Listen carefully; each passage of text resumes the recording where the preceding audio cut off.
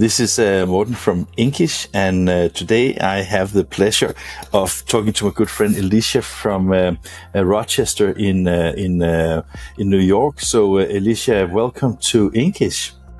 Thank you, Morten. I'm so pleased to be here. I'm more pleased than you because I think that we have actually uh, over the years we have exchanged recipes. Uh, we have shared uh, photos. You have, uh, I think it's your husband that is from from uh, Lithuania, and and I think the very first time we met each other was in a uh, panel debate at one of the print shows or Graph Expo shows. Yep. So in a way, we go back a long time, right? We do. Um, but at the same time, we have not I don't think we ever sat down like this and talked about you, right? It's more about the companies that we were, right. that we have been talking about. So, so who who who are you? uh, I'm a marketer. I'm a builder. Um, I've been in marketing or sales or lead generation my entire career. Uh, software for quite a while. Uh, in the print industry now for about 14 years. And uh, do you feel the same thing? I, I, I, I do think I know the answer to it, but is it like uh, uh, either you hate or you love the printing industry, right? Oh, I don't know anybody that hates it.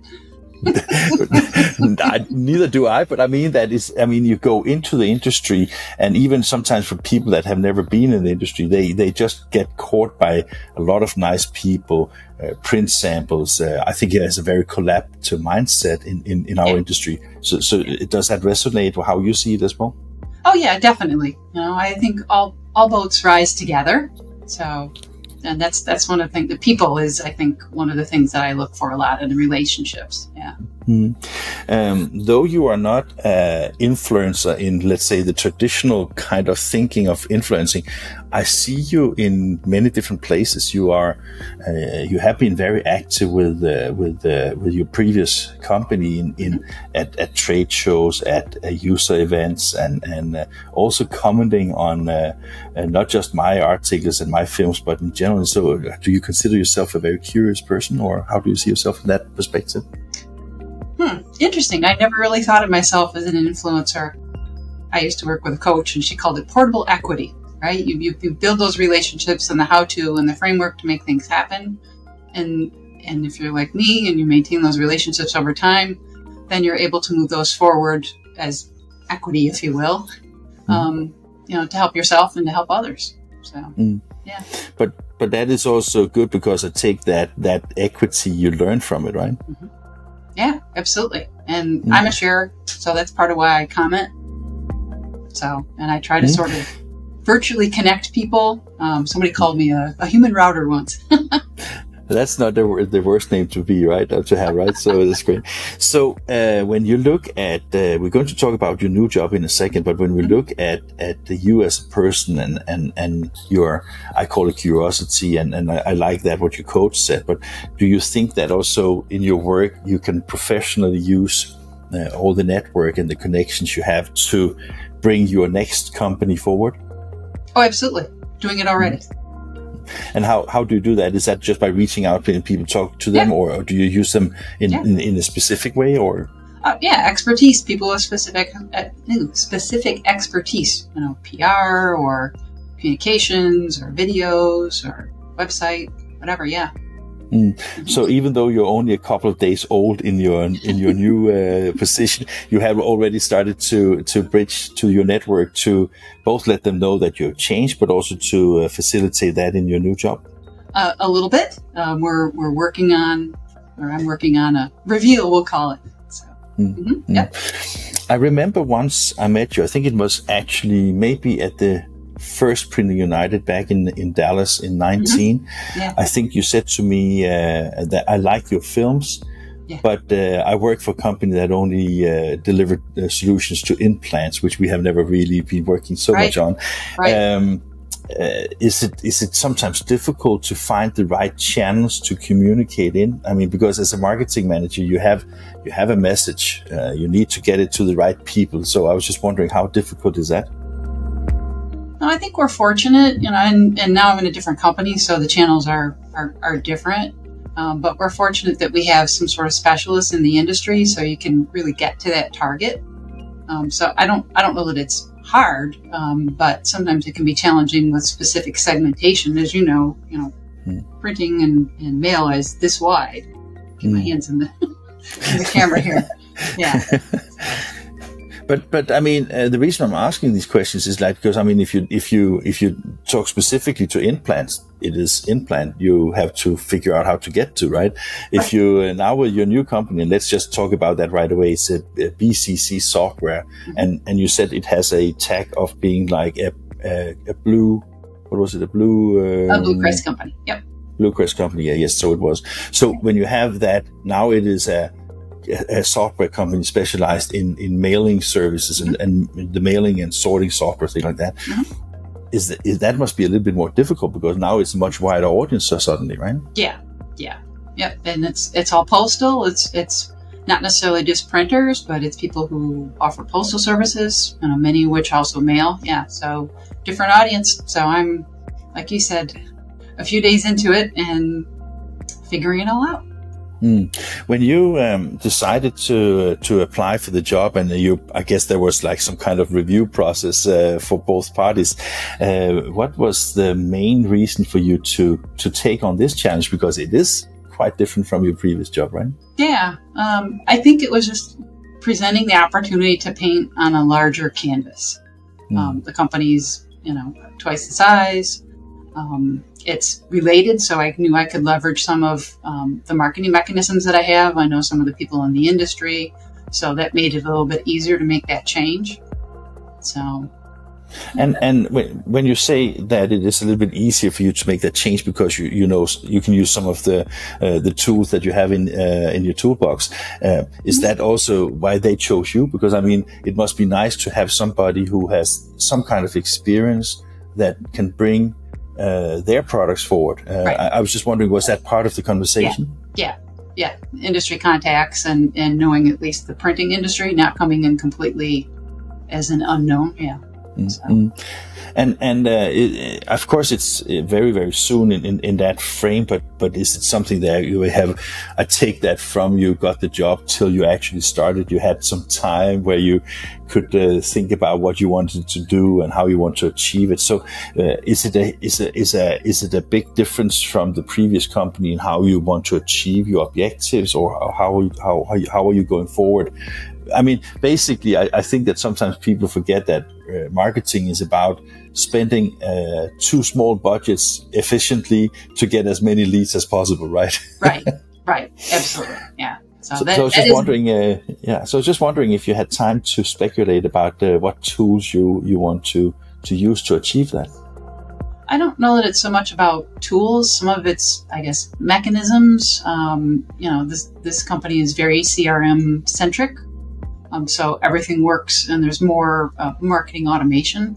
Um, so there's mapping through that and figuring out the best way to leverage it. Um, so you know, there's some difference difference there, and we're in software, so we should should have some automation in place, right?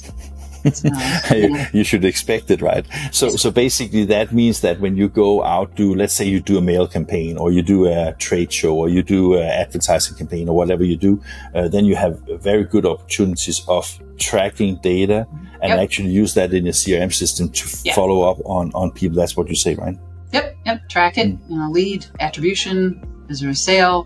Where is it at in the pipeline? All that. Yep. Mm. And if you, when you work in a company that does uh, mail software, does it mean that you uh, anticipate only to use mail in your communication? That's a good question, isn't it?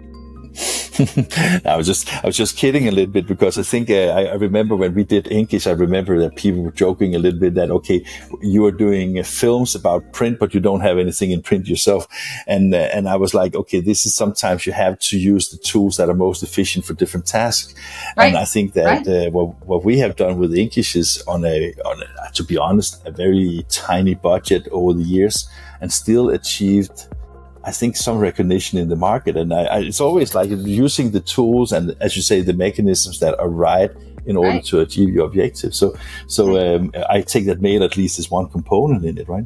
Mm-hmm. Yep. So, uh, Elisha, um, the the company you work for, uh, as again, I'm, I'm, totally aware that it's uh, new for you. So next time we meet, uh, I'm sure that you will have more experience with it and, and can tell much more. Um, what is the mail software you do? What is the, let's say the the, the core uh, ideology or the core competence of the software? Right. Can you talk about that? Sure, briefly. Um, again, a couple days into this. Um, so it's really around helping customers reduce um, the uncertainty um, that's that's happening um, and navigating through um, the postal system, um, reducing um, costs and, and, maximizing discounts, increasing the speed, reducing undeliverable mail. compliance is huge. Mm-hmm. That definitely has to happen and you know delivering it with really excellent support. Um, mm-hmm. We're unusual in that we have a lot of certified uh, experts um, that are mm-hmm. certified by the postal system, so they're oh, kind of an extension. Okay. Yeah, so that I think makes the company pretty unique. Um, mm-hmm. So not only have they been around a long time, um, they also have these these experts on staff, so they're an extension of somebody's staff. Mm. Um, you know, and, sorry, go ahead. No, no, I was just wondering because I mean I come from a, small country where we have only one postal service, so right. so in, in my country it, it, it, doesn't really make sense to to to uh, I mean of course it makes sense to to have your data correct, but I was just wondering uh, I think that American customers they used to have a lot of different levels of postal services and maybe also competitors. So you can you can is that what you do? Is that basically helping people to you know this is good for the usps and this is good for x and this is good for y or what is it no no. Okay. so the uh, usps has um, discount programs. Um, ah okay. So that so, is a matter of getting things sorted out so it fits the best discounts basically Yes, and and certifying that there's compliance. Uh, there's a time limitation on compliance to certain regulations and what the, the cost of the postage is. Um, so they like to say we keep customers out of jail.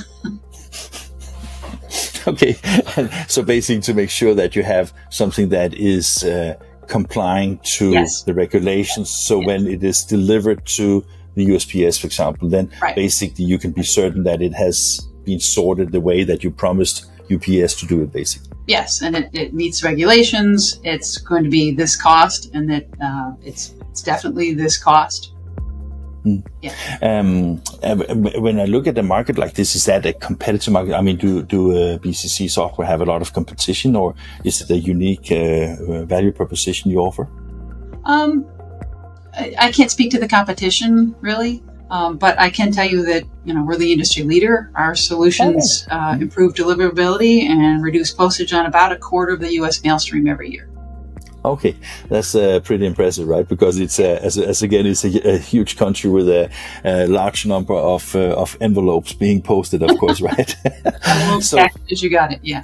Yeah. So so when you when you work in a company like BCC, is um, is it a matter of getting the 75% that you're not covering right now as a service provider? Or is it also just keeping just in quotation uh, like the brand value? Uh, the reason I'm asking is because when I talk to marketing people, I always think it's quite interesting because in my opinion, you may disagree, but in my opinion, marketing is about two things. One thing is, is preserving, maintaining and enhancing your brand and your uh, brand recognition in the market. And the other part is the, let's say the product marketing where you need to have some ROI and some, you know, right. uh, turnaround and, and you, so you basically can, one thing can be measured easily. The other thing cannot be measured so easily is where do you see your role and, and, and your, your, your objective in, in uh, BCC software's, uh, uh, marketing approach? Oh, there's both. There's definitely an emphasis on, on sales and the sales can be organic and within our current base. As you know, with software, there are continually changes. Um, so it's moving people forward with those changes, either in, in the underlying technology or um, there's been a couple of companies that we purchased for specific okay. reasons, and then integrating those products and then presenting customers with solutions with a great interface, but also uh, handle all of that compliance and the optimization.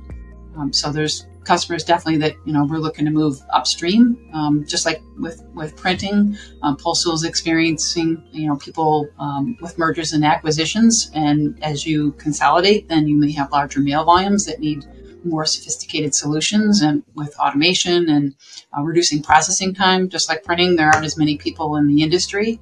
Um, so some of those same sort of things you hear in printing are also happening in, in mailing. Hmm. Um, uh, one of the things that uh, you probably recognize from, from Europe is that in Europe, uh, at least in the northern part of Europe, it seems very much that that a lot of postal, let's say, the mailing and postal services are going electronic way, and therefore you see a reduced, especially from banks, insurance companies, uh, health, uh, governmental kind of things, is is is literally down to almost zero. Um, but in in the US, it seems that that the, the, the mail is something that people have a lot of uh, trust in, and it seems that it is also from legislation part of of the of the side something that right. keeps for many many years. How is that something that you address in also in BCC software? Because I guess that whatever you feel about uh, the physical mailing, probably in some period of time it might some of it might change to electronic communication depending on you know uh, generations of preference and, right, and yeah. all those kinds of things. So is that something that you you know whether that is something that plays a role in in how bcc software see their role in the future? Yeah i mean yes the postal volume is not increasing just like volume and printing isn't increasing. So that that is part of it. Like i said with the, the mergers and acquisitions that um, you have to be more efficient with what you have um, that's remaining um, mm-hmm. and automate it. And there aren't as many people in the process. So yes, that's definitely something that you know that we look at and look at closely and try and figure out how to how to help our customers optimize that. Mm. But that that sounds like a tremendous job in itself because I mean basically, of course, as a company, you want to uh, preserve your uh, revenue, your profitability. You still want to grow because it's more fun to go to work when you grow than going on the opposite, right? Oh, yeah. So uh, yeah, so it was just like I mean, it, it with a software company and the, and the placement you have in the market, it seems like a company that also, what from what you say, has a focus on okay, there is a future that might look different. And does that mean that you will also, when you look at acquisitions and I, am not expecting an answer to that, by the way. But when you look at the future, do you see some kind of diversification in product offerings as part of, of where you see a company like BCC Software? Uh, can I ask that? I'm not even sure I can because you can probably not answer it, but, but I did anyway. I was just wondering because I mean, it's, uh, for me, the, the logic must be that, okay, if, if we have a market that goes like this, and we still have 75% that we can capture. Okay, let's go right. find that. But on the other hand, it could also be great to see if there's value added services right. around the mail that could right. be useful for BCC to enter right. into, right? Yeah, and and you know the company doesn't just do the the mail. There's there's data services around it, so that as ah, somebody okay. starts to go upstream with with larger volumes, then their data services to um, for them to to buy, um, so that they can grow and get more value out of what it is they're doing. Yeah. Mm to me, it sounds like a really interesting job you got yourself there, right?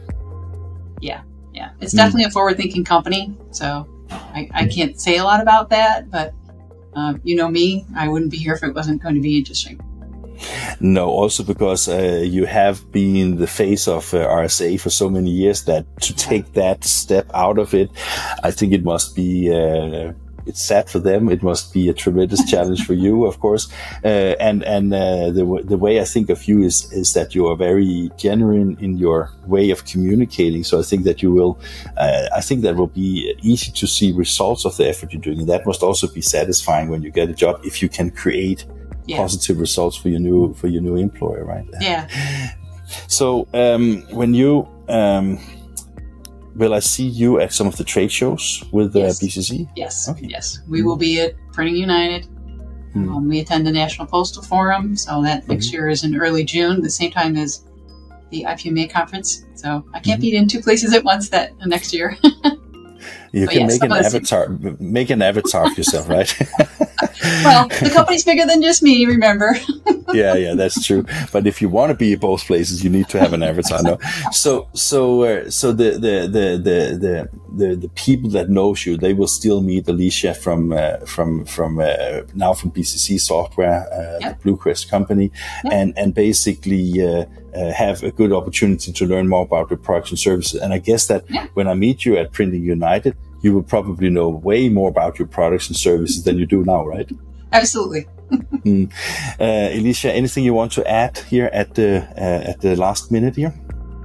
No, other than to thank you so much for your interest in wanting to do this and in reaching out and saying, "Hey, let's talk." So you're you're that's genuine as well, and I appreciate the chance to have this time with you. And and Elisha, you know that's my job. I mean, your job is to sell the uh, mailing and sorting software and services. My job is to talk to the right people in the industry, and you're definitely one of them. So, uh, oh, thank you I so much. I just wanted to say thank you very much for your time here on Inkish, and uh, I look forward to see you uh, in uh, Atlanta in uh, October. That would yeah. be fun.